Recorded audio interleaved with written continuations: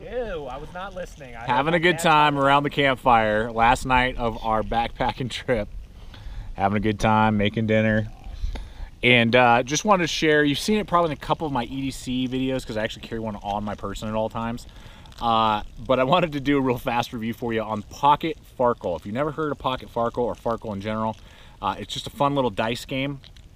Uh, we take it up all the time when we do backpacking, when Brian and I do like our day hikes up to Blade Boot Camp or whatever.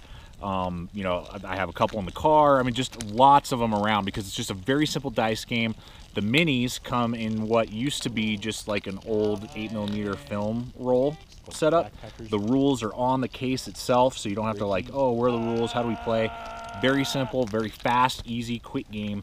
Uh, and it's just a lot of fun. And it's great, great outdoor game. We, I think the first time we ever played it was out on one of our backpacking trips.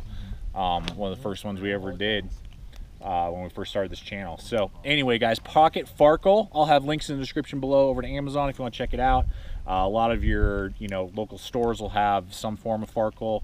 Uh, it's just a, a, really fun way to put the technology down and get wireless. and uh, enjoy Aaron's on Aaron's GoPro. I don't see any wires on it.